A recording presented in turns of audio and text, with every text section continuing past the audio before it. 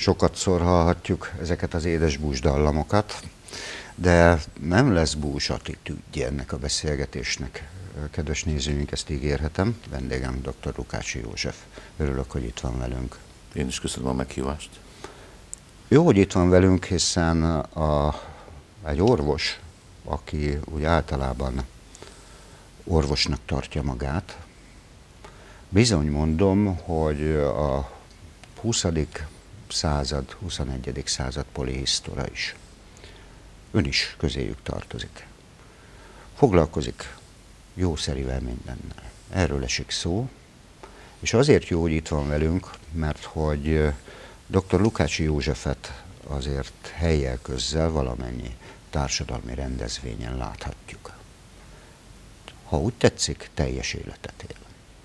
Viszont nem tudjuk, hogy milyen volt a kis srác. Akkor először kezdjem ezzel, ugye?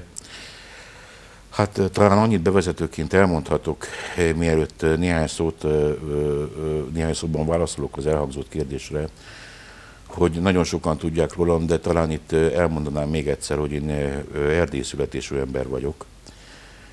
Marosvásárhelyi helyen születtem, és ahogy szoktam mondani, a történelmi Magyarország keleti végeiről a Dunántúl történelmi fővárosában, ma már mondhatjuk így Székesfehérvárra költöztem, 80-as évek második felében, és ez azért volt lehetséges, mert Trianon után az apai nagyszülők, akik sokan voltak testvérek, az apai nagyszülők közül voltak, akik nem voltak hajlandók felesküdni a román államnak, és eltávoztak a Trianon utáni Erdélyből, és részben a, már a megcsonkított országban, Kis Magyarországon részben telepettek le, részben pedig tovább mentek közülük sokan, akár az Egyesült Államokig.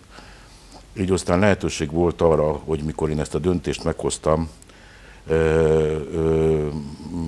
ezt az átköltözést meg is tegyem, és engem szélesebb értelemben a Ficienő és Petres Éva családja, szűkebb értelemben pedig Szűcs vállalkozó és családja tette lehetővé, hogy Fehérvárra készüljek. Hogyha azt mondom, hogy Szűcs a mindenki által ismert Tomi autóbontó tulajdonosa, akkor itt talán mindenki számára világosabb, hogy kiről van szó. És a Tomi autóbontó a alkatés szolgáltatásával és a szervizével hosszú éveken keresztül az egyedül ilyen szolgáltatás, szolgáltatás volt Fehérváron, talán ezért is a tulajdonosa egy közismert ember. A, a munkahely szerzésben, hogy így mondjam, kicsit csúnya szóval pedig Petreséva segített sokat. Tehát Éva néni és Jenő bácsi a, a, voltak éppen egy nagybátyám, meg a nagy néni, egy más, hát ugye a, a Szűcs Endre az Éva néni lányának, Andriának a férje, és az elhelyezkedésben pedig nagyon sokat segített Csomán főorvos úr, akivel aztán utólag egy életre szóló barátságot költött, kötöttünk, és hát nem olyan régen halt meg, egy három éve, és azóta is nagyon hiányzik az életemből. Mondhatjuk azt, hogy otthonról hazajött? Mondhatjuk azt, hogy otthonról hazajöttem, és itthonról hazamegyek, és fordítva. Bár én, hogyha nagyon szomorúvá válok, ami olykor előfordul, akkor azt szoktam mondani, hogy mm, sokat magammal, jó néhány tízezren vagyunk még így. Mi olyan emberek vagyunk, akiknek tulajdonképpen szülőföldje nem volt soha a szó szűkebb értelmében, vagy tulajdonképpen értelmében csak szülőhelye. De azért ezt elmondhatjuk, és mai napig is három havonta Erdélyben megfordulok valamilyen célból, vagy valamilyen konferenciára, vagy a barátaimhoz elmegyek, de létrehoztam édesanyám szülőfalujába egy kulturális egyesületet, és ezen keresztül pedig számos rendezvényt szervezünk, másrészt pedig a Böjte Csaba alapítványnak és intézményeinek, meg a szorványba folyamatosan ruhát, gyógyszert és egyéb szükséges tárgyakat, eszközöket, használati tárgyakat és eszközöket hordok. Vagy Beszéljünk egy kicsit arról inkább. Egy pillanat, oh, tehát, igen. tehát ezek azok a dolgok, amelyek lehetővé teszik, illetve most már szükséges is, hogy bizonyos időközökként Erdélybe elmenjek, mert ott is már feladataim vannak. Mennyit szerettem Rendben. amit csak hozzátenni. Elnézést. No, beszéljünk egy kicsit arról, hiszen a, felkaptam a fejem erre. Tudom a történetet. Milyen volt a Marosvásárhelyi promenád, miként emlékezik arra? Milyen volt a vártemplom környékét egyszer-egyszer bejárni? Milyen volt az a település, ahol felnőtt?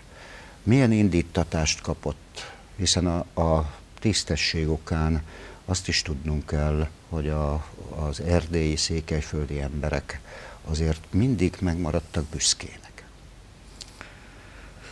Igen, hát Marosvásárhely a Marokszéknek a fővárosa úgy is szokták mondani, és a régi történelmi könyvek így írják le, hogy a Székelyföld fővárosa volt valamikor a bolyaiak városa, és ennek megfelelően egy nagyon híres és tartalmas történelmi múlttal rendelkezik. Olyan polgármesterei voltak, mint a nagyon sokak által ismert Bernádi György, ott van a híres Bolyai liceum, ott van a Golt katolikus gimnázium, ott van a Telekitéka, ami közép-kelet-európa legnagyobb könyvgyűjteménye Teleki Sámuel által gyűjtött több tízezer kötettel. Nagyon régen megalapították még a, az 50-es évek végén a Marosvásárhelyi, vagy még korábban a 40-es évek végén a Marosvásárhelyi Székely Színházat, Onnan indult egyébként Tompa Gábor is, aki ma a, a Kolozsvári Nemzeti Színháznak, Magyar Nemzeti Színháznak az igazgatója. És aztán az 50-es évek elején szintén Kolozsvárról oda költöztették az Orvosi Egyetemet is, aminek nagyon nagy presztízse volt nyugaton, hiszen mikor az 1970-es évek elején a Nyugat-Európába elkezdődött a kiáramlás, azokat az orvosokat, akik a Marosvásai Orvosi Egyetemen végeztek, rögtön állásba helyezték, akik, mások, akik más egyetemeken végeztek, pedig újra az egyetemi vizsgákat le kellett, hogy tegyék.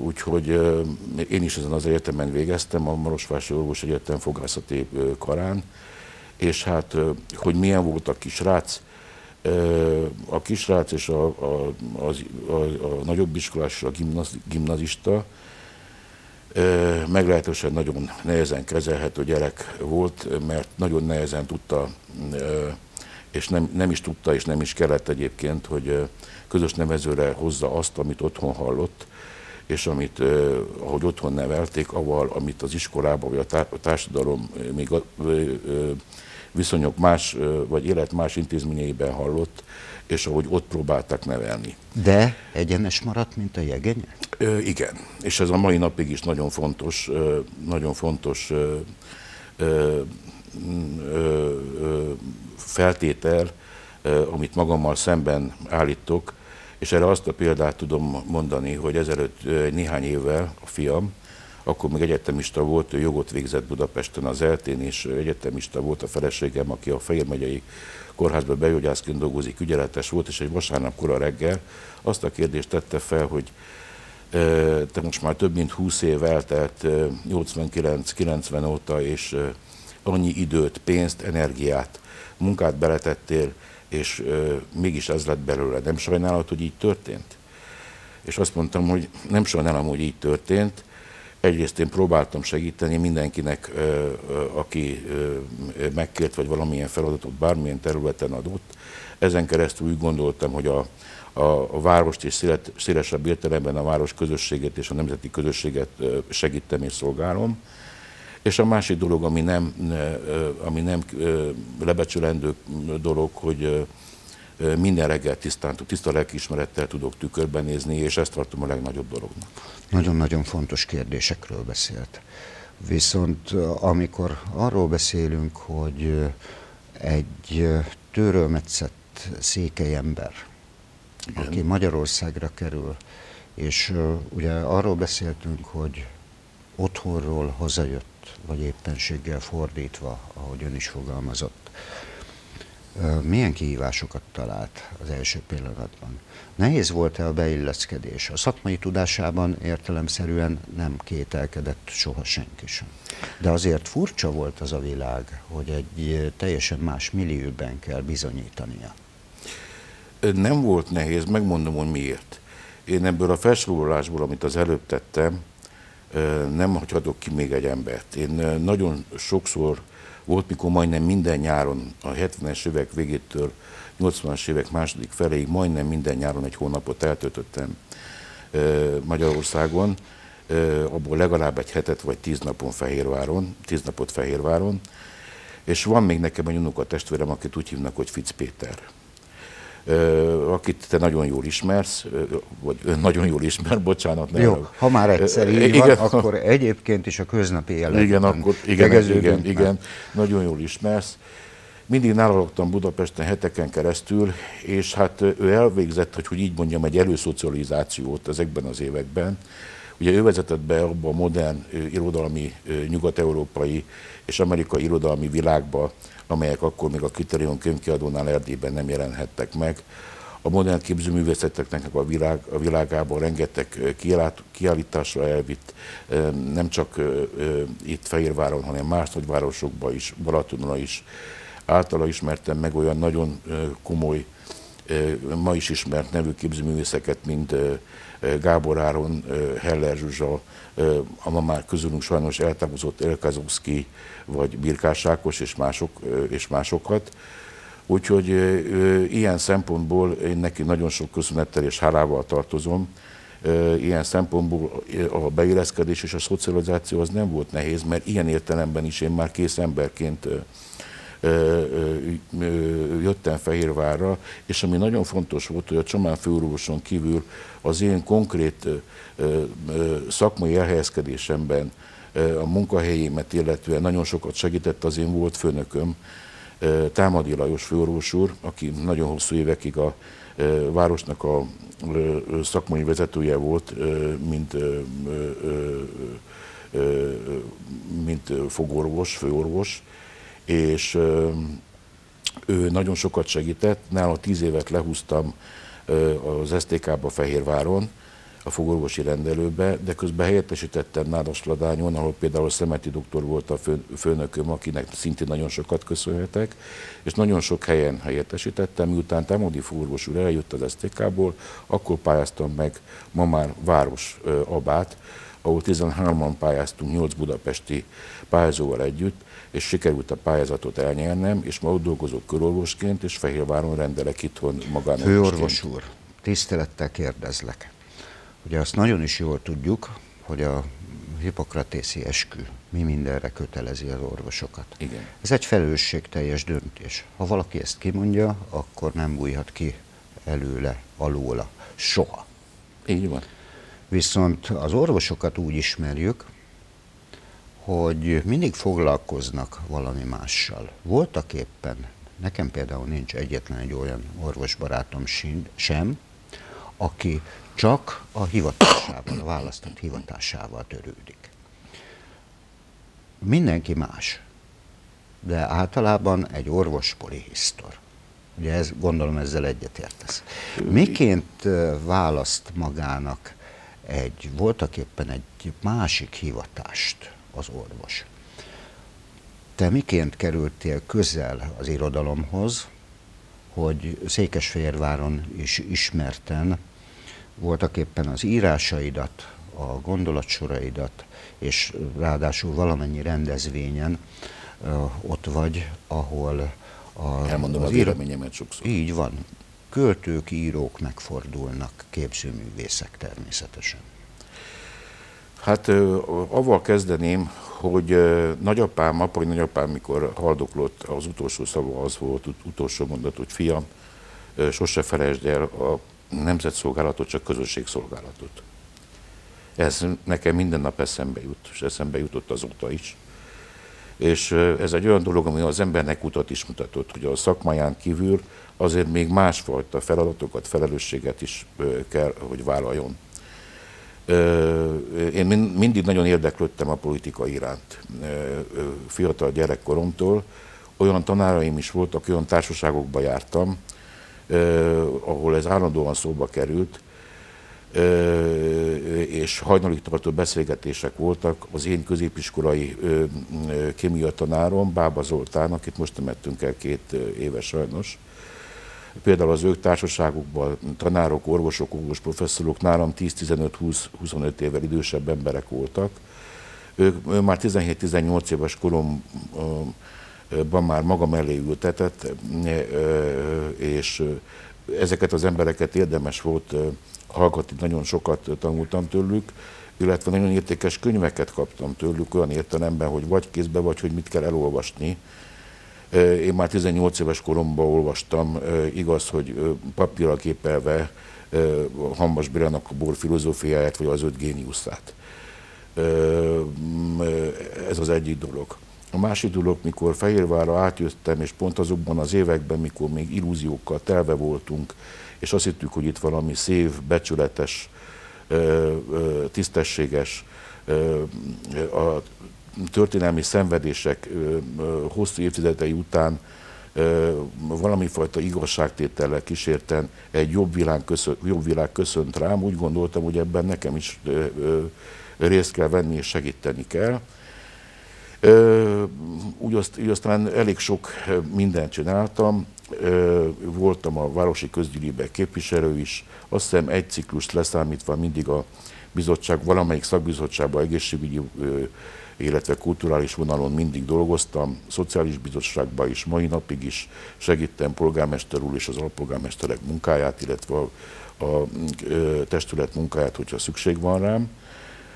Az irodalomhoz úgy kerültem közel, hogy utána... Egy polit... pillanat meg, mielőtt a irodalom, Igen. hiszen itt van a vár. Igen. Várat is építettél, de Igen. előtte egy kicsit foglalkozunk azzal, hogy amikor politikai szerepvállalásról Igen. beszélünk, az nagyon-nagyon fontos, hogy ki miként választ magának pártot. Igen. Ugye ez egy másodpercig sem volt kérdés, hogy miként és hova csatlakozol.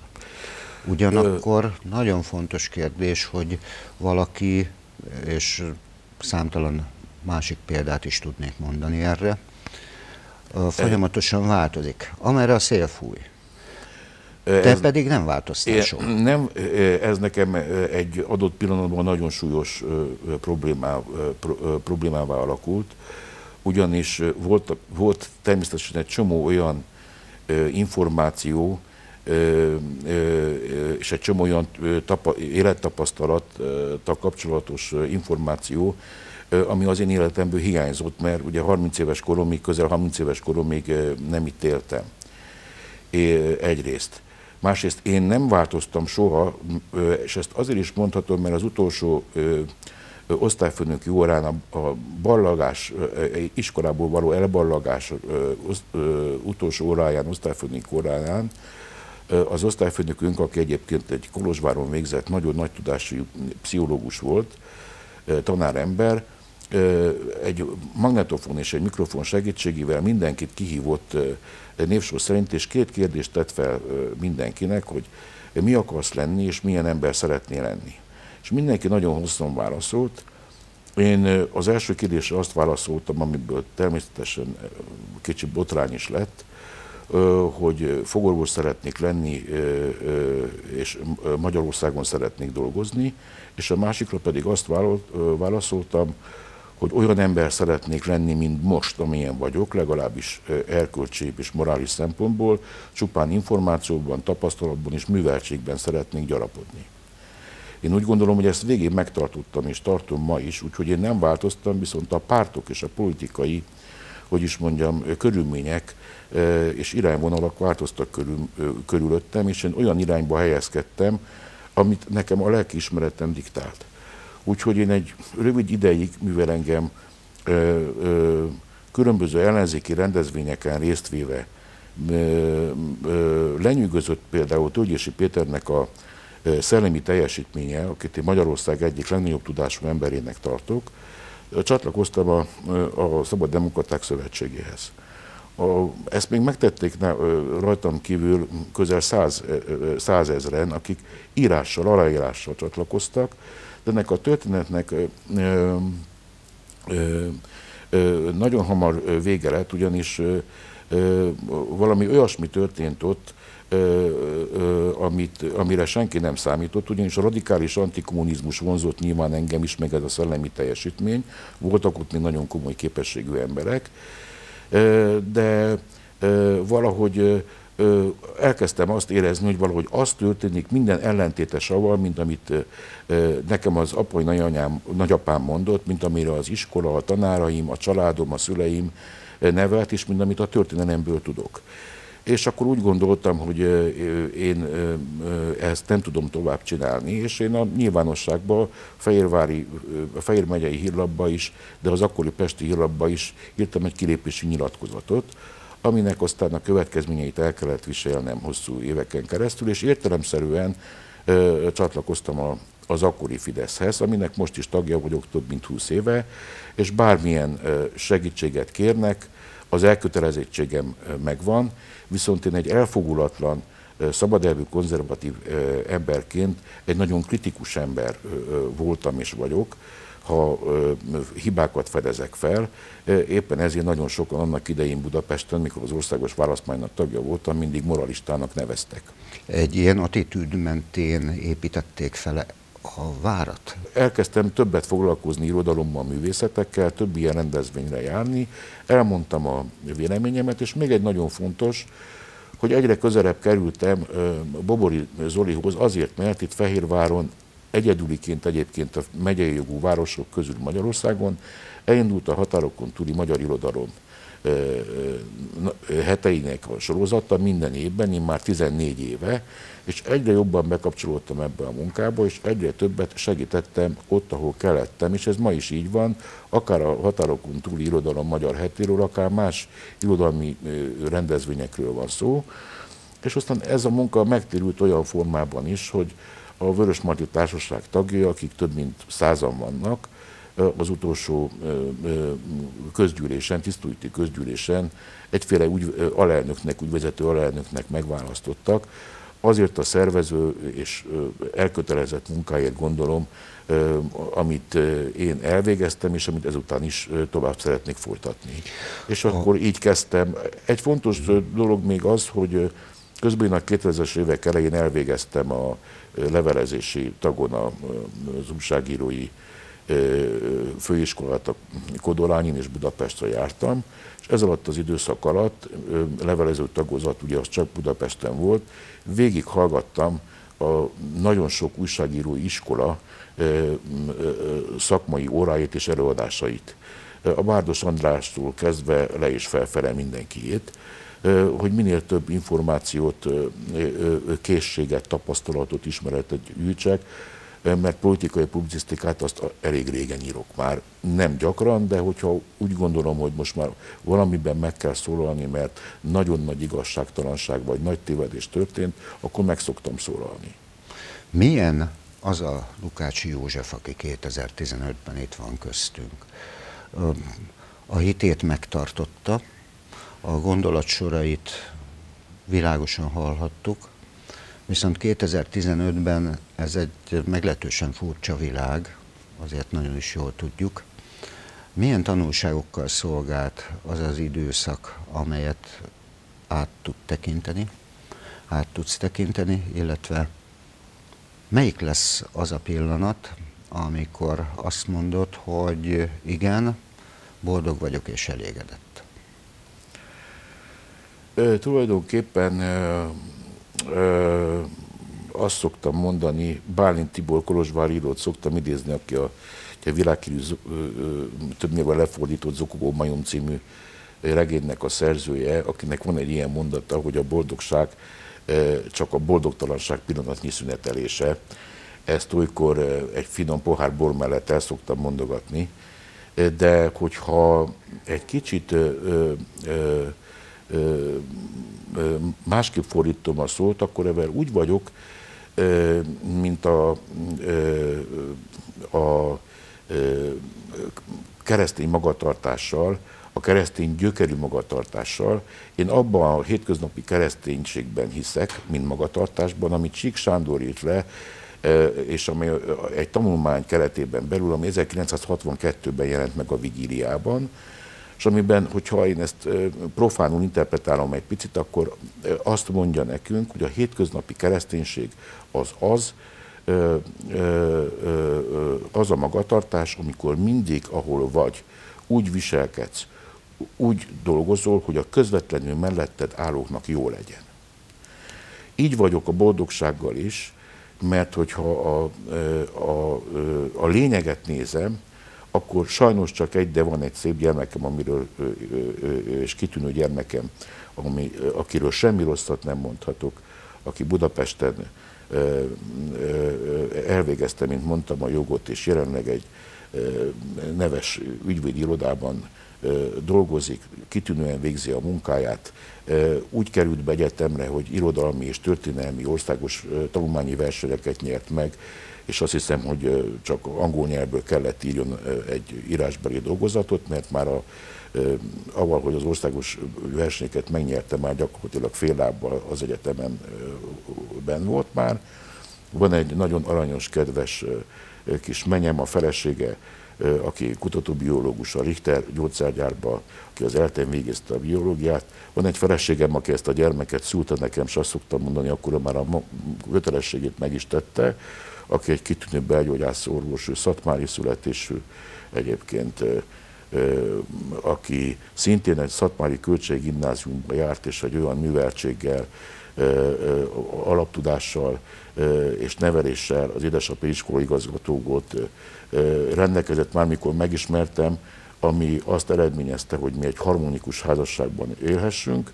A szüleim még élnek, az unokatestvéreim itt vannak, Petreséval még meg közöttünk van, úgyhogy boldog embernek mondhatom magam. Ámen.